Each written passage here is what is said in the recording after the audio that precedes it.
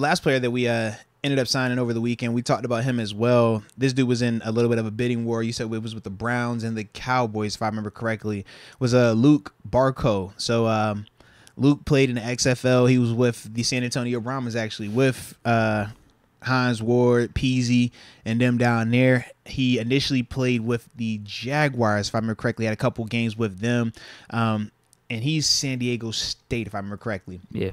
But I like Luq though, man. He did not come to our mini camp, but the XFL was legit. When you talk about watching him play, you can cut on tape and see him play versus, you know, NFL caliber or guys that have flirted with the league. So it was good to see that. But the thing I like about Luq is I think he has really good vision. Um, when you're watching him, he's one of those guys that he likes to see the football. Reminds me a lot of like a Marcus Peters type.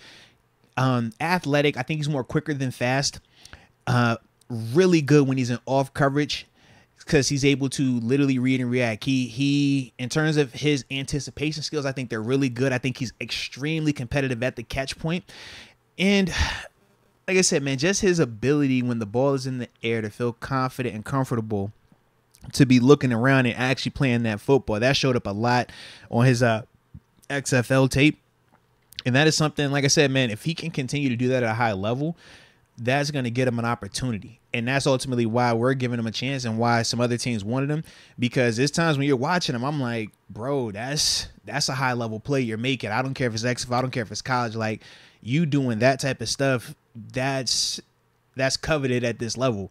And that's why I was like, it gives me kind of Marcus Peters vibes. But like we know with Marcus Peters, that's a deadly game to play when you're real, you know, eyesy. You like to see the quarterback, eyes in the backfield, not always on your work.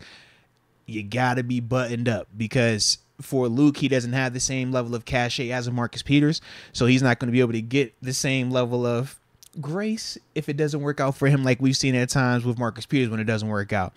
But I definitely like Luq though, man. I feel like he's going to be a nice addition to just compete in that room.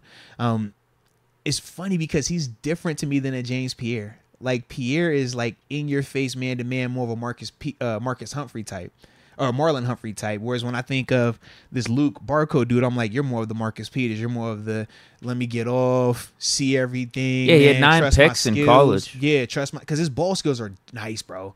Like you watch him, he's down that. Yeah, that was just one year, too. He led the look up. NCAA. Yeah, he's like, I'm trying to see where that ball is. Like he's almost playing like a receiver.